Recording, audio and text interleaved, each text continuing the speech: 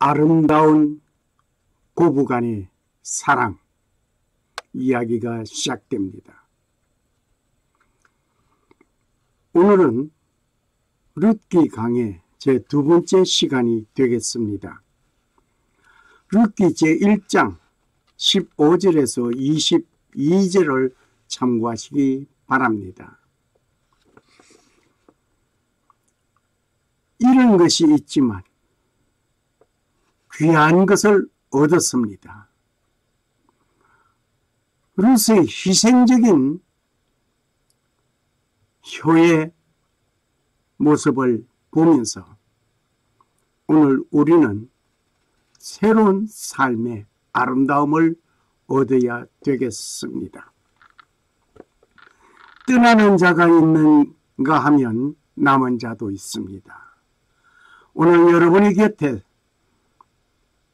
수많은 사람들이 떠나기도 하고 여러분 곁에 남아 있어 주는 자도 있습니다. 떠나는 자와 함께 고민하고 생활할 것이 아니라 남은 자와 함께 고민하며 생활하는 자가 되었으면 합니다.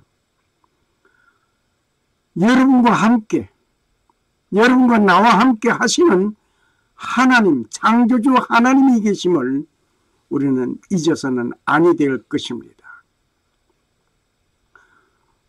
오늘 이곳에 오신 여러분에게 귀한 선물 하나를 드리고자 합니다. 아름다운 고부간의 사랑의 이야기 속에 이 풍성한 보리밭에 보리 이삭과 같이 말입니다. 보리 이삭과 같이 여러분의 믿음 생활이 풍성하기를 원합니다. 오르바는 시모에게 입을 맞추고 갔습니다. 그리고 시모는 루덱에 계속하여 네 동서는 백성과 그 신에게로 돌아갔다. 너도 동서를 따라서 가라고 권합니다. 이때 룻은 어머니의 백성이 내 백성이 되고 어머니의 하나님이 내 하나님이 되시리니 어머니가 죽으시는 곳에서 나도 죽어 장사될 것이라. 그리고 룻은 시므를 따라가기로 굳게 결심하였습니다. 어머니의 백성, 내 백성, 어머니의 하나님, 내 하나님. 정말 룻은 어머니의 믿음을 그대로 잘 전수받았습니다. 이기적이고 강팍하고 메마르고 고갈 상태의 사랑과 비현실적이고 보수적인 가치를 원하는 계산적인 현 사회에 참다운 현실, 현실적인 사랑을 고백하는 모습을 우리는 여기서 발견하게 됩니다. 룻은 그 효성과 희생을 보여주었습니다. 이 희생적인 삶이 룻에게만 있는 것이 아니고 지금도 간간히 들려지는 고부간의 아름다운 사랑의 이야기들이 있음을 여러분 주위와 나의 주위에 있습니다. 룻의 효성을 봅니다. 룻의 효성은 정말 우리가 본받아 배워야 할 것 같습니다. 룻의 효성에는 어머니를 따르지 말고 돌아가라고 강권하지 말아달라고 강구합니다. 어머니를 따르지 말고 돌아가라고 하지 말아달라고 강구합니다. 어머니가 가시는 곳에 나도 가겠다고 결심합니다. 어머니가 어디로 가시든지 내가 어머니 따라 가겠습니다. 이런 아름다운 사랑 이야기가 또 있겠습니까? 주님이 가시는 그곳에 나도 따라가겠다고 하는 믿음이 여러분과 나의 삶 속에서 이루어지기를 바랍니다. 어머니가 유숙하시는 곳에 나도 유숙하겠나이다. 어머니의 잠자리와 함께 잠을 자겠다고 하는 주의 발자취를 따라 가겠다고 우리는 찬송을 하면서 과연 주님이 가신 그 길을 함께 가십니까? 어머니의 백성이 내 백성이 되기를 소원합니다. 이 룻은 모압 여인이었습니다. 나오미 어머니는 유대 여인이었습니다. 어머니의 백성이 내 백성이 되기를 내 모든 것을 다 포기하고 어머니의 것으로 채워지기를 바라는 루스의 아름다운 그 결심 뿐만 아니라 어머니의 하나님이 나의 하나님이 될 것이라고 소원합니다. 어머니의 하나님이 나의 하나님. 지금까지 루스는 시모 나오미를 만나서 얻은 배운 신앙, 하나님, 발견한 그 하나님, 정말 그대로 전수 받았습니다. 뿐만 아니라 어머니가 죽는 곳에 나도 죽겠다. 어머니가 어디서 죽든지 어머니와 생사를 같이 하겠다고 하는 루스의 아름다운 그 결심 대단합니다. 오늘 이러한 믿음이 주님을 향한 주님과 함께하는 여러분과 나의 삶이 되기를 바랍니다. 만일 내가 죽는 일 외에 어머니를 떠나면 하나님께서 벌을 내리시기를 원한다고 했습니다. 것 외에는 어머니를 결코 떠나지 않겠다는 굳은 결심이었습니다. 내가 어떤 일을 당하여도 주님을 버리지 않고 내 모든 생을 주님을 위하여 바치리라 하는 굳은 믿음의 결심이 일어나기를 바랍니다. 루스는 어머니의 그림자같이 따라 살기를 결심한 것 같습니다. 루시 자기가 태어난 곳의 이러한 이야기가 있습니다. 나는 시어머니가 가는 그 천국에는 가고 싶지 않습니다. 라는 어느 며느리의 고백을 들어봅니다. 어느 시골에서 시집을 왔습니다. 이 가정의 막내 며느리는 올케 언니, 동생, 시동생 등등의 시중 뒷바라지에 지치는 중에 시어머니의 문 밖에 있었습니다.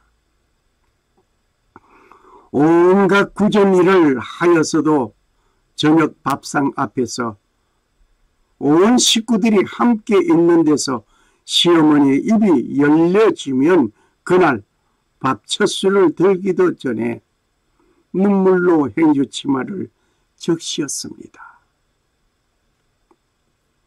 그러는 가운데 주일이 되면 또 한바탕 벼락이 나는 일이 있습니다. 얘 막내야 냉큼 나서지 못해? 여전히 예배당 가자는 것입니다. 권사라는 집 며느리가 예배당에 가지 않고 그게 될 일이냐? 이렇게 불효령에 못 이겨 따라 가지만 이것은 말이 아니었습니다. 그렇게 근 1년이란 세월이 흘렸습니다. 그런 가운데 이 며느리도 예수를 알게 되고 하나님을 믿게 되었습니다. 교회에서 학습 세례 문답을 해야 하는 일이 생겼습니다. 목사님께서 학습 세례 문답하는 가운데 이 며느리가 말을 합니다. 목사님, 저는 이 집에 시집 와서 처음으로 예수님이라는 분을 배우게 되었습니다. 예수가 누군지를 알게 되었습니다. 그리고 천국도 알게 되었습니다. 그런데 한 가지 부탁이 있습니다. 우리 집 제 시어머니가 가시는 그 천국이라고 한다면 나는 안 가겠습니다. 정말 놀라운 이야기였습니다. 고부 간에 서로의 갈등이 천국까지 갈라놓는 일이 생겼습니다. 왜 고부간에 이러한 사건이 생겼을까요? 나오미는 며느리에게 분명하게 하나님을 제대로 가르쳤습니다. 하나님을 제대로 섬기게 하였습니다. 어머니 하나님이 나의 하나님이 되겠다고 하였습니다. 오늘 여기에 권사님은 내가 섬기는 하나님, 내가 믿는 그 예수 그리스도를 내가 바라는 그 천국은 가지 않겠다고 하는 예수를 믿으면서도 시어머니가 가는 그 천국에는 아니 가겠다고 하는 이 웃지 못할 이야기. 정말 어떻게 생각해야 합니까? 여러분과 나의 자녀 가운데에서 하나님을 섬기는 일이 내가 하나님을 섬기는 그 아름다운 그 마음이 그대로 전파되고 전수되고 있습니까? 그런데 오늘 보게 되는 룻과 나오미는 그 사이가 아름다운 고부간의 사랑을 찾아 보게 됩니다. 룻은 자기 민족의 정통성, 문화, 신앙까지 모두 포기했습니다. 이 모두를 포기하고 어머니를 따라가는 그 길에 무엇이 있기에 그렇게 되었을까 하면서 깊이 생각해 보아야 하겠습니다. 오늘날 많은 사람들이 하나님의 백성이 되는데 내 가문이 어떠하고 내 지위가 어떠하고 지금까지 숨기던 신을 갑자기 버릴 수가 있겠는가 서서히 무리 없게 정리해야 한다. 라고 말을 하는 합리적인 자들이 있습니다. 하지만 여기 룻은 결단하였습니다. 단칼에 끊었습니다. 무엇이 그렇게 만들었을까요? 무엇이 룻을 그렇게 만들었을까요? 나오미가 가진 헌신과 사랑을 발견하게 됩니다. 나오미는 남편과 두 아들을 잃고 재산도 모두 잃었습니다. 두 자부도 잃어야 할 단계였습니다. 큰 자부 오르마는 제 곳으로 갔으니 잃었습니다. 단신으로 고향으로 향하여 가야 하는 이 나옴이었습니다. 이 나옴에게는 슬픔이 많았습니다. 괴로움이 큰 중에 있었습니다.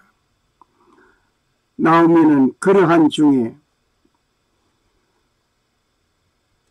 나옴이라 하지 말라고 했습니다. 슬픔이 많은 이 나옴이였습니다. 두 자부를 잃어야만 하는 남편도 잃고 두 아들도 잃고 두 자부도 잃어야만 하는 이런 상황 속에 룻과 함께 베들레헴을 향하여 가는 그 길. 잃어버린 것이 있지만은 얻은 것이 있었습니다. 많은 사람들이 말을 합니다. 많은 사람들이 뭐라고 말을 합니까? 그럴 때마다 나옴이라 하지 말고 말하라고 불러달라고 하였습니다. 이 말하라는 말은 괴로움이 많다. 괴롭다라는 히브리어의 뜻이 있습니다. 그런데 나오미라는 이름의 뜻은 뭔가 하니 우리의 즐거움이라.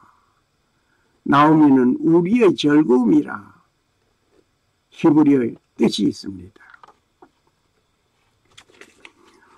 이러한 뜻을 가지고 있는 우리의 즐거움이라는 그 이름을 가지고 있는 그가 다 잃어버리고 돌아온 것은 재산도 잃어버렸고 단 룻과 함께 베들레헴을 향하여 왔지만은 나 즐거움이 아니라 괴로움이다. 그래서 말하라고 불러달라고 하였습니다. 이러한 사람이 가지고 있던 모든 것은 다 잃어버렸습니다. 즐거움을 가지고 있던 것 모든 것을 다 잊어버렸습니다. 소망도 없는 인생이 된 그에게는 말하라는 이름 그것이 적격이었는지도 모르겠습니다. 정말 나오미는 슬픔이 많고 괴로움이 가득한 사람이었습니다. 그에게는 하나님을 강직하고 그 하나님을 잃지 아니한 그것 있었습니다. 다 잃어버렸지만 하나님은 잃어버리지 않았습니다. 그 나오니 잊어버리지 아니한 그 하나님을 룻도 간직하게 되었습니다. 정말 나오미는 슬픔이 많고 괴로움이 가득한 사람이었습니다. 그런데 그 나오미에게는 한 가지 간직한 것이 있었는데 그것은 하나님이었습니다. 그로 인해서 룻을 얻었습니다. 그가 간직한 하나님을 룻에게 잘 심겨졌습니다. 룻은 어머니의 그 믿음 생활, 어머니 간직한 그 하나님을 잘 간직했습니다. 전수 받았습니다. 물론 가정에서 새 며느리를 맞이하고 큰 자부에게도 하나님을 심었을 것은 분명하였습니다. 그러나 루에게는 어머니의 하나님이 나의 하나님이라 그것까지 강한 믿음을 가지게 된 것이었습니다. 루스의 효는 사랑과 관심 속에서 희생이 따라온 것입니다. 효는 사랑할 때 효를 하게 되는 것입니다. 사랑하지 않으면 효가 나오지 않습니다. 사람은 관심이 있을 때 사랑하게 됩니다. 관심 밖에 두면서 사랑한다는 말은 거짓입니다. 뿐만 아니라 어떤 의미에서는 효, 사랑, 희생 이 셋, 이것은 삼위일체처럼 공동체를 이루고 있다는 것을 우리는 알게 됩니다. 사랑에는 두 가지가 있습니다. 사랑에는 두 가지가 있는데 그 하나는 하니 거짓된 사랑이 있습니다. 두 가지가 있는데 한 사랑은 무슨 사랑? 거짓된 사랑이라 말입니다. 이 거짓된 사랑과 진실한 사랑이 있는데 먼저 거짓된 사랑을 우리는 먼저 한번 상고해 보고자 합니다. 이 거짓된 사랑, 나의 이익을 위하여 사랑한다는 것은 거짓된 사랑입니다. 즉, 이익의 조건이 없어지면 싫어질 것이 100%입니다. 만일 이익의 조건이 없어지고 소망의 여지가 없어져도 계속 사랑하는 마음이 변하지 아니한다면 그것은 진실한 사랑일 것입니다.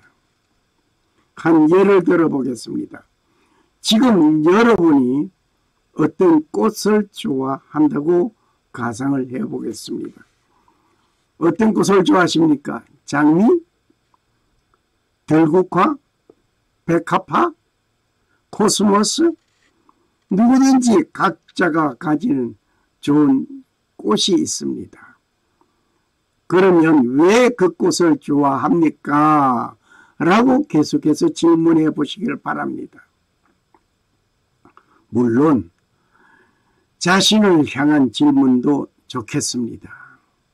왜 내가 그 꽃을 좋아하지? 왜 내가 장미를 좋아하지? 코스모스를 좋아하는 이유가 뭐지? 하면서 자신을 향하여 한번 질문해 보시기 바랍니다.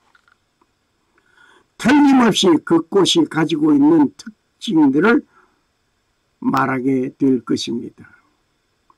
꽃이 가지고 있는 전설적인 이야기, 색깔, 향기 등등을 말하게 될 것입니다.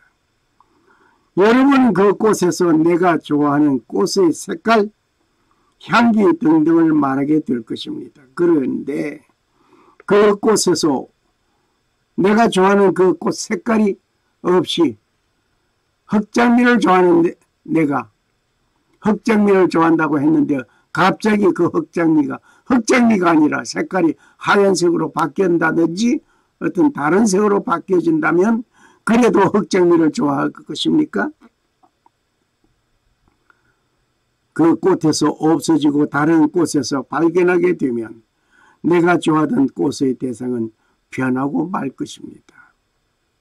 그것은 내가 좋아하는 색깔과 향기 또는 전설적인 어떠한 이야기 그러한 것이 이루어진 것입니다.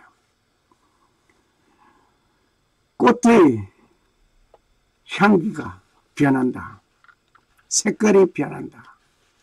역시 내 취향이 따라 달라지는 것입니다. 그 꽃을 버리게 되는 것입니다. 그 꽃이 내게 좋아하는 것을 만족하게 해주고 있기 때문에 그 꽃으로부터 만족하게 해줌을 받고 가진 이익이 있기 때문에 그 꽃을 좋아하는 것입니다. 그러므로 내가 무엇을 좋아하는 것은 나에게 이익이 있기 때문이라 말입니다. 즉, 이것을 다른 각도에서 본다면 이익의 가치가 변하면 언제든지 내가 좋아하는 대상도 변하는 것입니다. 그것이 좋아한다고 했으니 좋아하는 것인가? 깊이 한번 생각해 보시기 바랍니다. 지금까지 이야기를 사람에게 한번 바꾸어 옮겨 놓아 보겠습니다. 내가 누구를 좋아하고 사랑한다 할 때 그 상대가 가지고 있는 학벌, 널씬한 키, 놈놈한 몸매, 뚜렷한 윤곽, 얼굴에 우뚝 솟은 코, 자상한 성격, 상냥한 목소리 등등을 들어 자랑하게 될 것입니다. 어떤 이는 나는 이, 이 모든 것이 다 좋은데 특별한 자랑할 만한 것은 없지만 웬일인지 그저 좋아하는 자도 있습니다. 그 가치가 변하였습니다. 알고 보니 내가 기대치에서 벗어나지만 변함없는 내 마음 이라면 좋겠습니다. 그런데 그를 멀리하게 되고 있게 되면 어떻게 될까요? 분명히 그는 거짓된 사랑을 논하고 있는 것입니다. 내가 한 사람을 사랑하는데 학벌이 어떻고 널씬한 키 다 하다가 그렇게 좋은 것이 있는데 거기에 만족한 내가 되어 있을 때 사랑한다.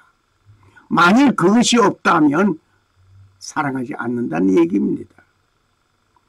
그러므로 자신의 가치관에서 상대편이 가지고 있는 모든 조건이 나를 위하여 제공하고 있을 때 사랑하게 된다 말입니다. 한 예를 들어볼까요? 그저 예수 잘 믿으면 돼. 그럼 만적이야. 하나님을 섬기는 그 일에 만족하게 그의 신앙이 하나님 더 이상 물어볼 거 없어. 그렇게 해서 그러한 사람을 믿음 생활 잘하는 그 사람을 소개했더니 얘기가 나옵니다. 믿음 생활 잘하고 주일 잘 지키고 어쩌고 뭐 다 신앙 아 오케이 그런데 뒤따라 나오는 것이 학교는 어디 나왔나요? 그래도 대학은 나와야지요. 그럼 부모님은 신앙생활 잘 하나요? 어, 엄마는 신앙생활 잘 하는데 아버지가 조금 그래요. 그래요. 이것저것 따지는 결국 받아들이지 않았습니다. 뭡니까? 표면은 예수 잘 믿으면 됐다고 했는데 그건 합격했는데 그 다음 따라오는 것이 학벌 문제가 집안 모든 문제가 어쩌고 저쩌고 그것이 자기를 충족시켜 주지 못했다는 얘기입니다.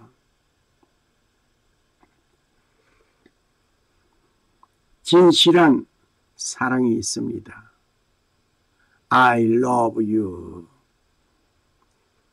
거짓된 사랑이 있는가 하면 진실된 사랑도 있단 말입니다. 진실한 사랑은 자기를 희생할 수 있어야 합니다. 진실한 사랑은 자기를 희생하지 않고는 사랑할 수 없습니다. 이어서의 아픔과 죽음을 대신하여 죽을 수 있는 희생적인 사랑, 이것이 진실한 사랑입니다. 내 목숨을 바치기까지 할 수 있는 사랑, 그것이 그를 향한 사랑입니다. 이 사랑의 표본이 예수 그리스도입니다. 영원히 죽을 수밖에 없는 나를 영생에 이르도록 하기 위하여 하늘 보좌를 두두고 이 땅 위에 오시기까지 하여 나와 같은 인생의 모습으로 혈육을 가진 인생의 모습으로 탄생하시고 십자가에서 죽기까지 사랑했습니다. 하나님이 세상을 이처럼 사랑하사 독생자를 주셨으니 이는 저를 믿는 자마다 멸망치 않고 영생을 얻게 하려 하심이라고 하셨습니다. 나를 위해서 죽기까지 한 그 사랑, 그 본을 보여주신 예수님. 예수 그리스도는 나의 고통과 나의 영혼의 죽음을 대신하여 죽어주신 분입니다. 그로 인해서 내가 살게 되었습니다. 진실로 진실로 진실한 사랑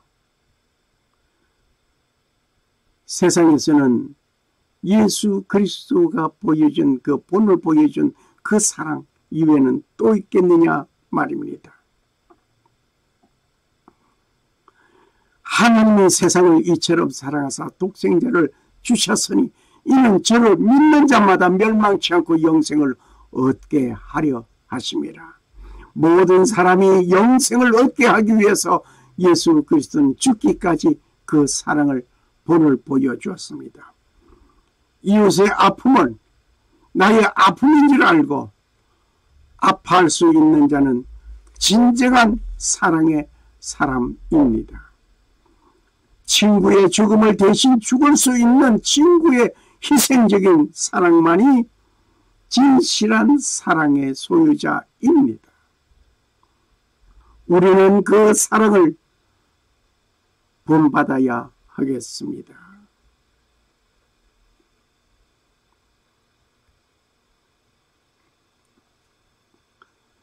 너희도 서로 사랑하라. 주께서 분부하셨네. 우리가 서로 사랑하자. 사랑은 주께 속한 것. 사랑을 줄 수 없을 만큼 가난한 자도 없고요. 사랑을 거절할 만큼 부유한 사람도 없습니다. 빈부 귀천을 막론하고 사랑을 나눌 수 있습니다. 그리고 받아야 합니다. 아무리 부유하다 할지라도 사랑을 받아야 합니다. 아무리 가난하다 할지라도 사랑을 나눌 수 있는 여유는 있습니다. 한쪽만 사랑하는 사람이 아니라 그 사랑을 받고 사랑을 나누는 우리 모두가 되어져야 되겠습니다. 사랑을 거절할 만큼 부유한 사람은 없습니다. 그리고 아무리 가난하여도 나눌 사랑은 있습니다.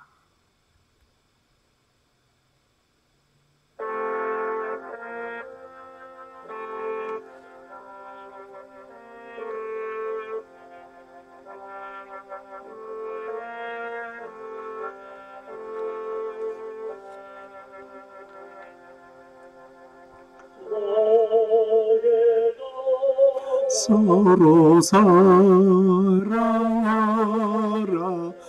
주께서 분부하셨네. 우리가 서로 사랑하자. 사랑은 주께 속한 사랑을 줄 수 없을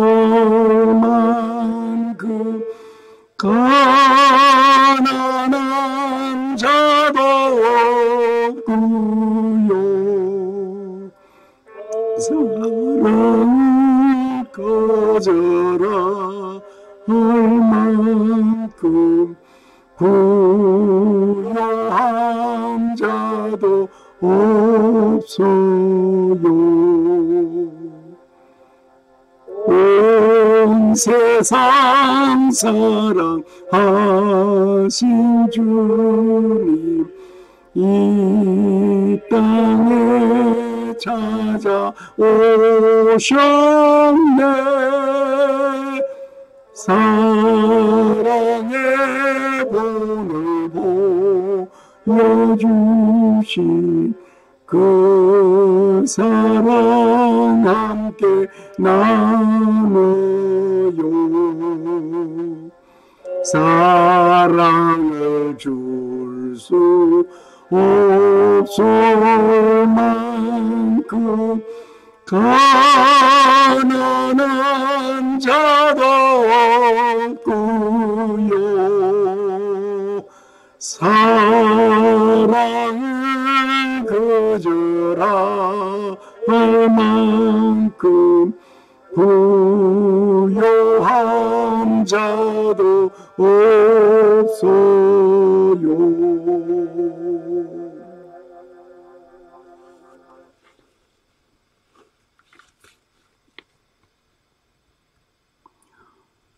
진실한 사랑은 자기를 포기할 수 있습니다. 나에게 주어진 어떤 이익을 포기할 수 있습니까?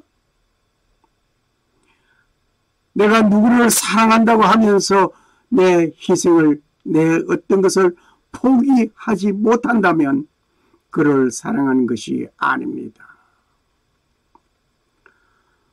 어머니는 자식에게 주려고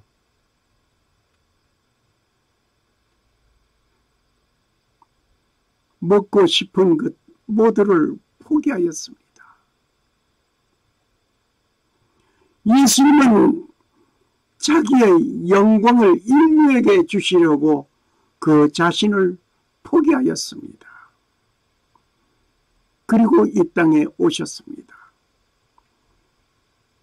사랑은 내 이익을 위함이 아니요 자기를 희생하고 자기를 포기할 수 있는 자가 사랑할 수 있는 것입니다. 여기 룻은 시몬에게 얻을 만한 소망적인 이익 그 어떤 것도 없었습니다.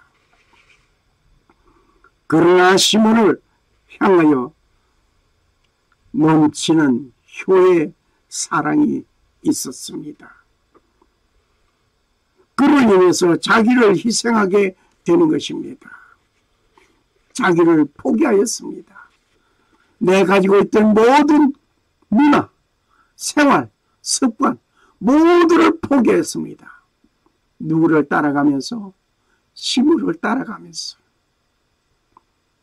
내 어떤 것도 감직하면서 살아가는 것이 아니라 나의 모든 것을 포기하고 따라가는 믿음의 생활, 주님을 향한 나의 믿음의 생활이 나를 포기하는 자신을 포기하지 않고 주님을 따라갈 수 없습니다.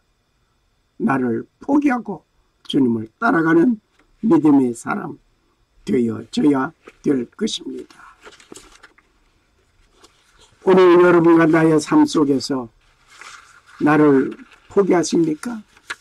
주님을 향하여 예수 그리스도가 모범으로 보여주신 사랑 이야기를 우리는 이것으로 멈춰 놓아야 되겠습니까? 이제 계속하여 그 사랑 이야기를 기록해 나가는 여러분과 내가 되어져야 되겠습니다. 사랑한다는 것은 관심이 있기 때문에 사랑하게 되는 것입니다. 관심이 있기 때문에 희생하는 것입니다. 윗부분을, 윗분을 향해서 부모님을 향하여서 사랑한다? 그는 효가 되는 것입니다. 희생하게 되는 것입니다. 부모님을 사랑한다 합시고 나의 희생을 드리지 아니하고 내 이익을 추구하면서 부모님을 사랑하는 자식이 있다면 글쎄요 거짓된 사랑이라고 볼 수 있습니다. 자신을 포기하는 그렇게 하여 룻은 시므를 따라서 베들레헴에 돌아왔습니다. 추수 때에 나오미는 룻을 데리고 베들레헴으로 돌아왔습니다. 비록 실패하여 빈손이지만 빈손으로 돌아왔습니다. 빈손 들고 앞에가 주를 생각할 때 우리 주님 앞에 내 가진 것 없이 빈손 들고 왔지만 주님은 그것 물으시지 않으실 줄 믿습니다. 이런 것이 모두였지만 다 잃어버리고 빈손 들고 왔습니다. 슬픔이 크고 괴로움이 가득하지만 돌아왔습니다. 창피한 것 있지만 그것 가지고 돌아왔습니다. 돌아왔더니 온 성읍 주민들이 기쁨에 잠겨졌습니다. 기쁨으로 맞이하였습니다. 돌아온 나오미를 기쁨으로 환영했습니다. 내 빈손으로 주님 앞에 왔어도 주님은 하나님을 외면하지 아니하시고 기쁨으로 맞이해 주실 줄 믿습니다. 단자가 돌아왔을 때에 빈손으로 돌아왔지만은 아버지는 환영하였습니다. 역시 빈손으로 돌아온 나오미에게 환영하는 일이 생겼습니다. 폐가 망 신앙자가 돌아왔을 때 베들레헴 주민들은 기뻐하였습니다. 하나님의 품을 떠나 세상으로 갔던 자가 돌아올 때 하늘 천군 천사들이 기뻐합니다. 할렐루야. 하나님께서 환영하시고 우리 모두가 즐거워하게 되는 것입니다. 교회에서 은혜가 넘치고 풍요로운 믿음의 삶이 있게 되면 낙심하였던 자가 돌아오게 됩니다.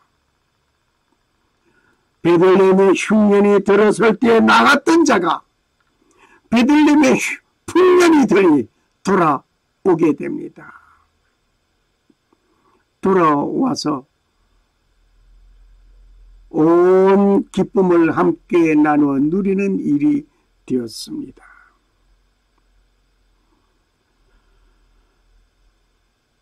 내가 한 말이 약속의 보증수표가 되면 많은 사람이 신임하게 되고 모여들게 됩니다. 정치인이 올바른 정치하면 온 백성이 그 정치를 따라가게 됩니다. 룻은 희생으로 말미암아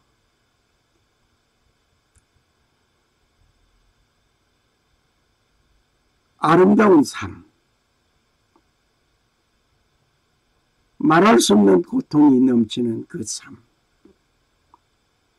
시골을 따라온 것은 10년 전에 방치되었던 이 낡은 집을 손질해야 하는 것입니다. 식량도 없습니다.